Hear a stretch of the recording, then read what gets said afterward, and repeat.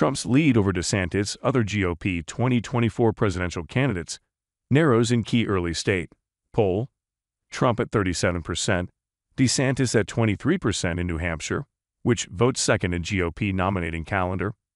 A new poll in New Hampshire suggests that former President Donald Trump's large double digit lead over his GOP rivals may be shrinking in the state that holds the first primary and second overall contest in the Republican presidential nominating calendar.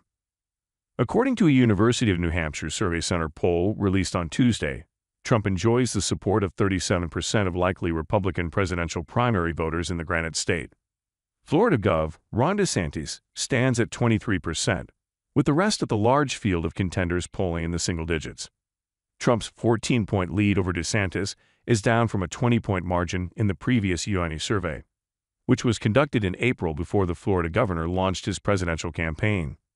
The lead is smaller than in recent surveys in New Hampshire from other organizations, which suggested Trump enjoyed a much larger polling advantage over DeSantis and the rest of the field.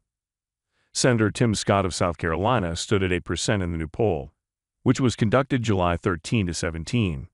Former New Jersey Gov Chris Christie, who's making his second White House run, stood at 6% along with North Dakota Gov Doug Burgum.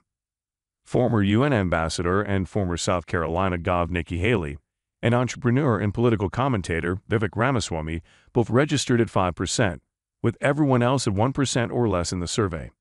Trump, who in November launched his third straight White House run, has made four trips to New Hampshire this year. He and DeSantis held competing events in the state in late June. DeSantis returned to New Hampshire on July 4 to march in two Independence Day parades.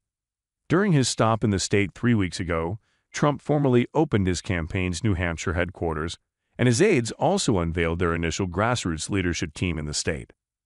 After narrowly losing the 2016 Iowa presidential caucuses to Senator Ted Cruz of Texas, Trump's convincing victory in New Hampshire's primary boosted him toward the GOP nomination and eventually the White House. With six months to go until the primary, only 35% of likely Republican nomination voters in New Hampshire questioned in the survey said they had definitely decided on which candidate they would support. But that figure skyrocketed to 76% among Trump supporters. The UNH poll questioned 898 likely Republican primary voters, with a sampling error of plus or minus 3.3 percentage points. The survey was conducted prior to Tuesday's news that the former president had been informed he's a target of a probe into the January 6, 2021 attack on the U.S. Capitol and efforts to overturn the 2020 election.